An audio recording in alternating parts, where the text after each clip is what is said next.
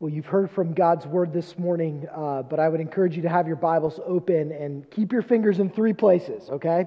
Acts chapter 20, uh, that'll be one place. Ephesians, of course, and then Revelation chapter 2. We'll go to all of those places this morning uh, as we uh, talk through this introduction to Ephesians. We really want to get a feel for the context of what we're going to hear over the next many weeks.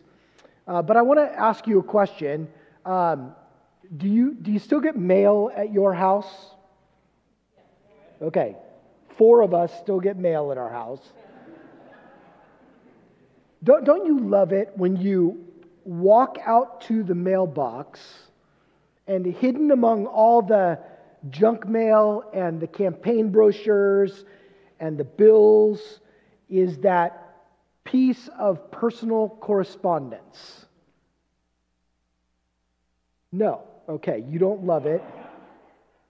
I do. Uh, I see that, that personal handwriting. I'm not talking about the handwriting font that the car dealer uses to try and make you think it's a personal letter. I'm talking about the real, genuine handwriting. And I think to myself, what is someone going to say to me? Someone that knows me, a real person that knows me and I know them, and I can't wait to get back to my house and tear it open and find out what is going on that they would write me a letter, a card, a note. The letter to the Ephesians is just this kind of personal correspondence. In fact, uh, the church at Ephesus is the church that Paul spent the most time with of any of his church plants. He loved them and he served them for, for three years. And, uh, and he has very strong desires for them. In fact, we heard it as we were reading through Ephesians. In Ephesians chapter 3, verses 18 and 19, he, he tells them that he wants them to be rooted and grounded in love, and that they may have strength to comprehend with all the saints what is the breadth and length and height and depth, and to know the love of Christ that surpasses knowledge, and that they may be filled with the fullness, all the fullness of God. That's Paul's prayer. And Paul's prayer has the same flavor as what we talk about when we talk about growing up here at CBC. We want you, we want each of us to dedicate, and we say it this way, your heart and your hands and your head to Jesus. And I think so many times Christians are out of balance with those things. They're more focused on one of those things than they are the other. And I see all the pictorial people looking at what's on the screen. I put on the screen a, a little diagram that, that sort of talks about this. It, it, it shows how we can get out of balance. And, and when we get out of balance in our faith, our faith becomes deficient. And this diagram depicts some of those deficiencies. You may be an incredible servant. Every ministry opportunity, too many to count, you volunteer. You say, I'll do that. I'll do that. So much so that uh, you spend a lot of time out of the service. In fact, I'm probably speaking to people who are over on the kids' wing right now. And, and you don't fill up your tank and you don't fill up your understanding of who Jesus is in the gospel. Or you may be that person that has all the head knowledge. You're in church every week and you go to multiple Bible studies every week, but you never actually get around to serving Jesus. You're lacking that outlet to put into practice everything that you have heard and everything that you know. But, but I think that the most fatal flaw is to ignore that issue of the heart. A heart's devotion to Jesus. Without a heart that is turned towards Christ, towards Jesus, turned towards the church, turned toward his people, a person is outwardly expressing their faith, but they have no genuine roots of salvation and of faith. It's a faith that's empty. Paul, Paul writes this letter to the Ephesians to explain these connections heart and head and hands. Let me say it this way. In Ephesians, Paul is going to talk to us about this that the church proclaims a gospel hope which results in a gospel culture. And these flow, things flow from a genuine heart relationship with Jesus. This morning we're going to look at the Ephesian church, and we'll, we'll be in Ephesians, the, the letter, but we're also going to look at the church at Ephesus in a couple of different places in Scripture. So, first go to that passage in Acts chapter 20. Uh, the, the, the, story of Paul in Ephesus actually starts in Acts chapter 19, and I would encourage you to read that whole passage, chapter 19 and chapter 20, this week. Um, but we're going to look at the ending of the story in chapter 20. In fact, one of the things you'll find in Acts chapter 20, the, the, the passage just before this, is uh, uh, about a church service. And Paul preaches all night long, so we're going to apply that as well, right? And, uh, and a kid falls asleep. You guys will probably apply that this morning. Uh, but the consequence for him falling asleep is that he dies. So just be aware, okay? But Acts chapter 20, uh, what happens is um, you, you read this passage starting in, in, in, in about, uh, let's see, in about verse 17 and then on to the end of the chapter. Paul is saying goodbye to this church for the final time. That, that he'll see them face to face for the final time. And what becomes evident is that Paul has this deep and abiding love for the church. Especially you can note verses 18 and 19 there, and that the love was reciprocated. You can see it in verses 36 through 38. But it's interesting that the love was expressed, and you'll see it on the screen, in him teaching them the truth about God. This gospel of hope. And so there it is in verses 20 and 21, and verse 27, and verses 31 and 32. He's declaring to them, he's proclaiming to them, he's uh, admonishing them from Scripture. And his letter to them, then, the letter of Ephesians, the book of the Bible we call Ephesians, was written then several, several years after this, about seven years after this incident that we see in Acts chapter 20. And he's going to reiterate all the things that he had taught them while he was with them. That's the theme of those first three chapters. And then, of course, like we said before, the theme of the last three chapters, chapters four through six of the book of Ephesians, is Paul unpacking how that gospel hope works itself out in the life of the church, what I would call the gospel culture of the church. So that the things Paul says that are true from Scripture are evident in the life of the church as people look at them. Now, back to the book of Acts, chapter 20. He's preparing to depart after his long ministry with the church. And as he leaves, there's one thing on his mind, and he expresses this great concern for them. He says this, verse 29 of Acts chapter 20 I know that after my departure, fierce wolves will come in among you, not sparing the flock. It's actually. Uh, verse 28, isn't it? No, it's verse 29. Yeah, yeah. I know that after my departure, fierce wolves will come in among you, not sparing the flock. Now, that is a stark warning. And so, Paul puts the elders of the church on guard with these two uh, commands. First, verse 28, pay careful attention, he says. He says, You're to care for the church of God, which he obtained with his blood.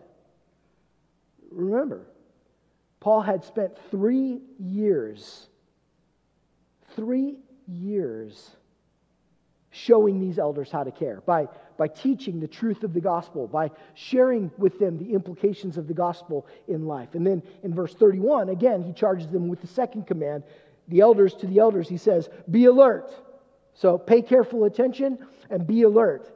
And again, Paul has provided them with the example and he urges them Remember, for three years I did not cease night or day to admonish every one of you with tears. Paul has modeled for the elders the job for them, and in his absence, he's asking them just pattern your ministry after mine. Now, what exactly are they supposed to guard for? What, what form are these wolves going to take? Well, if we go back in history, we can understand that the city of Ephesus was famous. It was famous for being the center of worship for the goddess Artemis. And the temple dedicated to Artemis was this prominent feature of the city. It was maybe like a major tourist attraction. In fact, if you look at most of the uh, lists of the seven ancient wonders of the world, you've heard that phrase. The Temple of Artemis is one of those. And so people would come from all over and they would uh, both observe and worship Artemis. That it would be natural, perhaps, to think that the wolves would be some of these that would be trying to turn Christian thought to pagan worship.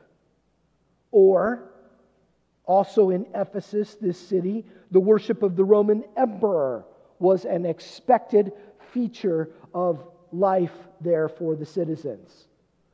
People, perhaps the believers, as loyal Roman citizens, might have been tempted to join in with what we would call an idolatrous syncretism.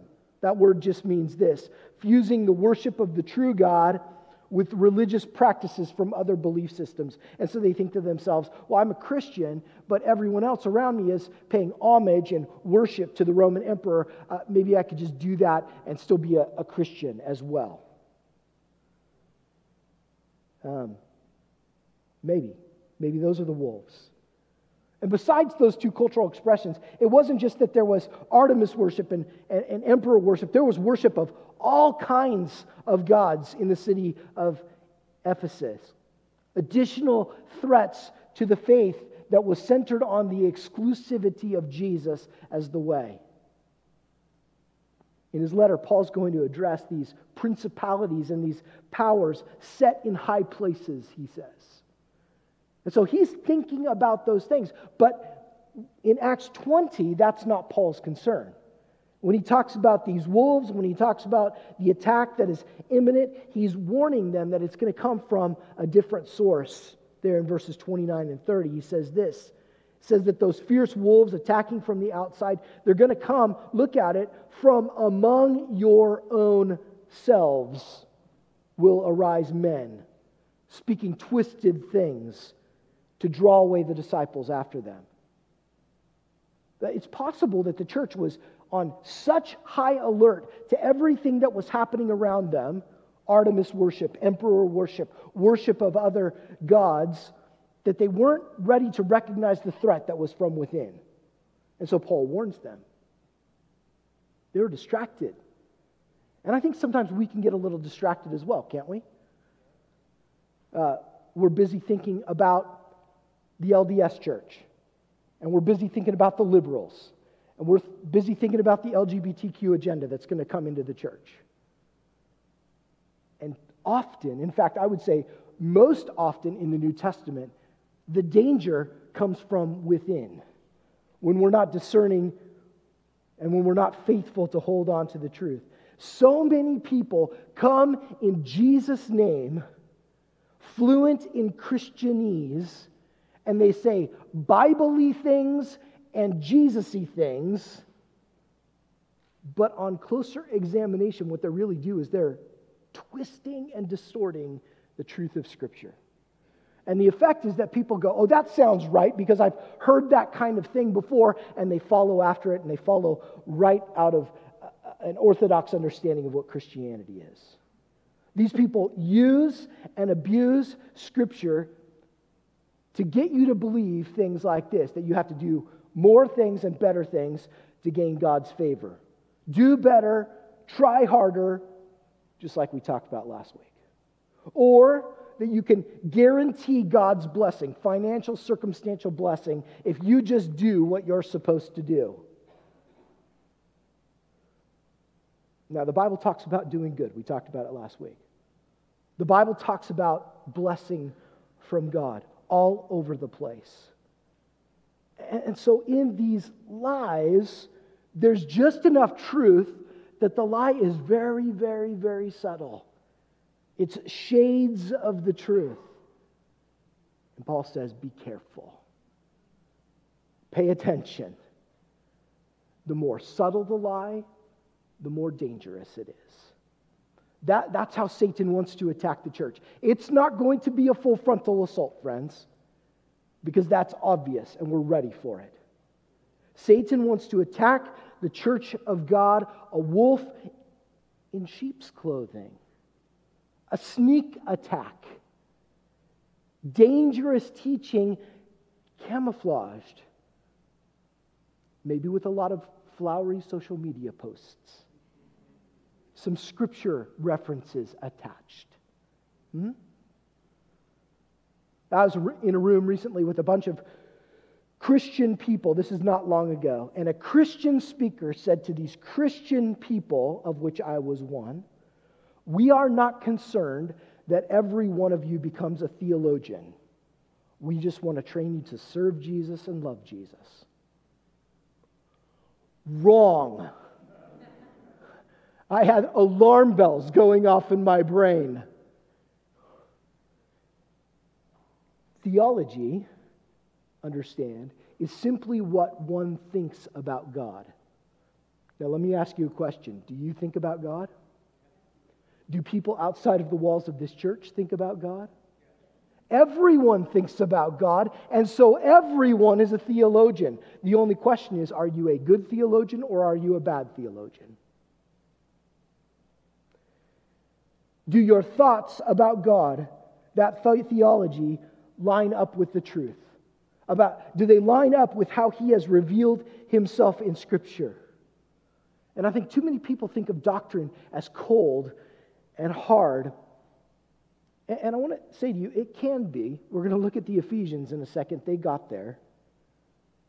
But if a person's heart is set ablaze by what they know about God, that theology becomes warm and inviting.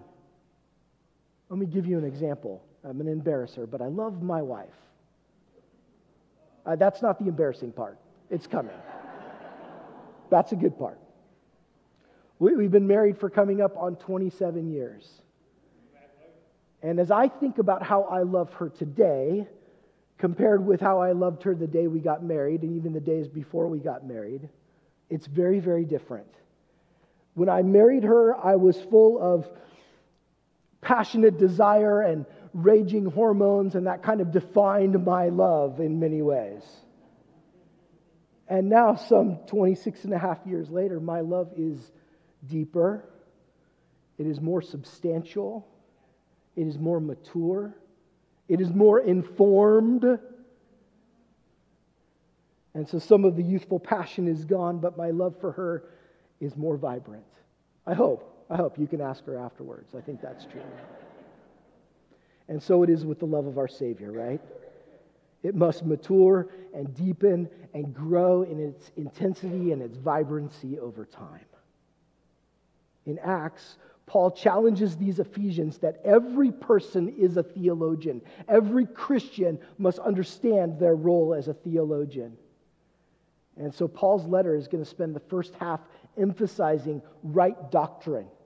And, uh, and then the back half, of course, is, as we've said, outlining how that doctrine works itself out in life. But for that doctrine to be properly applied, it must be warmed by a love for Jesus. These are the two lessons, I think, that we can learn from the Ephesian church, especially this morning. In fact, I want to look at that second lesson with you. So turn with me to the book of Revelation and let's, let's see how they come to understand some of that second lesson. Here it is, Revelation chapter 2. Uh, Jesus is speaking to these seven churches, one of which is the Ephesians. And his assessment of this church in Ephesus is that they have done a really, really excellent job of holding the doctrinal line that he called them to in Acts chapter 20. Look at verse 2. You cannot bear with those who are evil, but you have tested those who call themselves apostles and are not. And you found them to be false. See, the wolves were rising up from within, and the Ephesians said, No, you say you're a Bible believing Christian, that doesn't line up with Scripture. They were really good. And that doctrine, it seems, has worked itself out into action. Look at what he says at the beginning of that verse, too. He says, I know your works your toil, and your patient endurance. The Ephesian elders, the Ephesian people, they were alert, they were careful, they paid attention, just as, as Paul had warned them in Acts chapter 20. But if we keep reading, Jesus' words and you may remember them, reveal this potentially fatal flaw in the church. Look at verse 4. He accuses them. You have abandoned the love you had at first. And as a result, Jesus questions the work that they're doing. That there in verse 5, it's the same work that he had just commended them for. He says, Do the works that you did at first. The church was, was, was squeaky clean from the outside, but they were doing the right things for the wrong reasons, out of the wrong motivations. And to Jesus, that was just as bad as doing the wrong things. So he warns them, right? Look at it. Continue on. I will come to you and I will remove your lampstand. That's the church. I'm going to take your church away from you. I will come to you and I will remove your lampstand from its place unless you repent.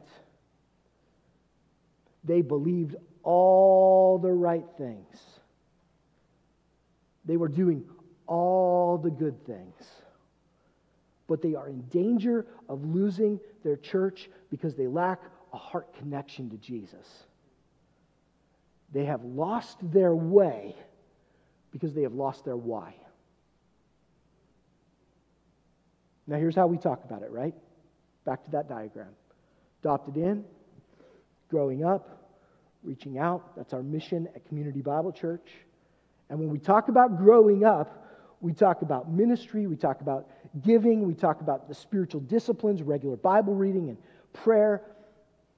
But listen to me unless a person does those things out of devotion to Christ,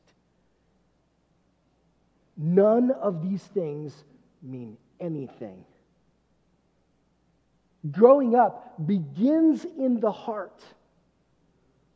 And then it spreads to the head. We, we, we acquire knowledge and we acquire truth and we, we, we know things from Scripture. And it works itself out in our hands. So we get involved in ministry and serving other people and loving other people. And anything different is a misunderstanding of biblical faith. And the answer is not to abandon good doctrine, biblical doctrine. The answer is not to stop doing good things until we feel a love for Christ. The answer is for us to realign our hearts to rehearse in our minds and in our lives gospel truth. That gospel truth that the Holy Spirit will use to fan a flame of love for Jesus. That's why Paul is writing to the Ephesians. It's not just to assure that they have uh, in their minds all the right things to believe, all the right things to think, all the right things to say, that gospel hope. Chapters 1 through 3. It's not just that they do good things that they create a culture in the church that is defined by the gospel, chapters 4 through 6. But it's so that they'll remember their first love, a love for Jesus. That's got to be the engine that drives gospel hope and gospel culture. And so, if you go just real briefly, right at the end here, go back to the letter to the Ephesians. This is how Paul opens the letter. He addresses it to the saints who are in Ephesus, who are in who are faithful in Christ Jesus. And so Paul, because the Holy Spirit authored this letter with Paul, the Holy Spirit is speaking to us through the book of Ephesians. He wants to say to the saints at Community Bible Church, and you say, wait, wait, wait, wait, wait. Saints, that's not, that's not me. I'm not a saint. But Paul is not saying that the people of God were saints because they are perfect, not because of the accuracy of their doctrine, but because they were people, the people of God, set apart for Him. It is not doctrine that saves you. And as we'll learn in the next two weeks, it's God who calls you, Jesus who saves you, and the Holy Spirit who seals you for that final day. And it's to the praise of His glorious grace. That's what we're going to talk about in the next two weeks. I hope you'll be with us for those and beyond. But understand this the church is called to proclaim that gospel hope. It results in a church being different, having a gospel culture. And all of that is meaningful when it flows from a genuine love relationship with Jesus. Let's pray.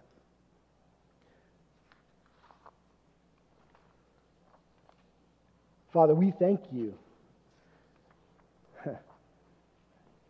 I feel like that's the first prayer every week when I'm up here is a, a, a, prayer of thankfulness because I am reminded that all of this is a result of Jesus who came and died and rose again. And without his sacrifice and without the faith that we read about is even a work of you this morning, um, I, I would have no standing with you. But because of Jesus, because of his righteousness that he's given me and that I'm clothed in, I have standing with you. And God, that drives me to my knees to say, praise you, worship you. And God, I, I want so badly to know the right things and to do the right things. But God, first allow me and allow CBC to be in love with you. And God, allow that to be the driver for our knowledge and our action. Father, we thank you for your word and we thank you for what it's going to teach us this fall. And we ask that you would be in it, that your Holy Spirit would be, uh, would be moving in our hearts to conform us to the image of